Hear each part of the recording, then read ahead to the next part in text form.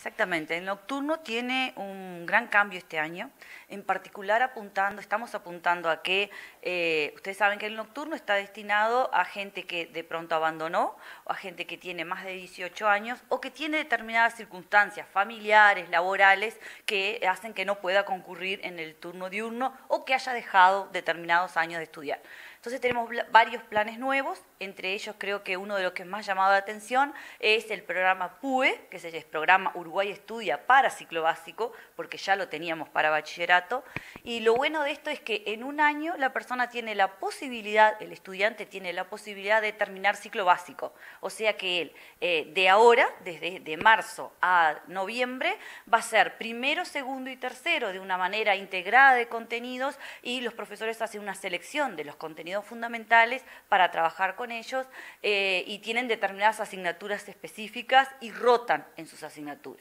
Y hay una inscripción muy importante, ya nos habilitaron, la habilitación las clases comienzan el lunes, aprovecho para ir informando, de todos modos se va a llamar uno por uno de los inscriptos, tenemos 40 inscriptos y se van a formar dos subgrupos de 20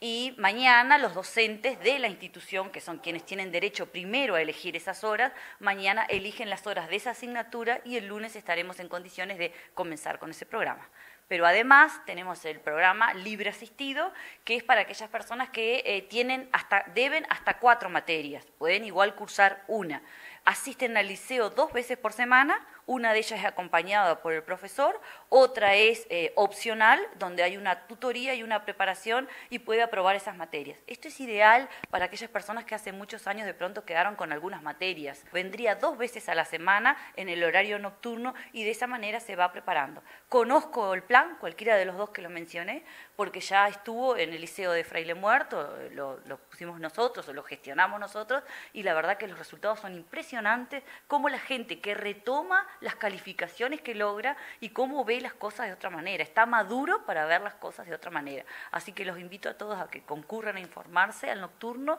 No importa que algunos cursos hayan empezado, otros están por empezar, que vengan, que algún plan iremos a encontrar para que continúen estudiando.